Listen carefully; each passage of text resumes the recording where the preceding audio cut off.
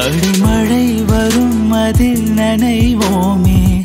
குளிர் காய்ச்சலோடு நேரம் ஒரு போர்வைக்குள் இரு தூக்கம்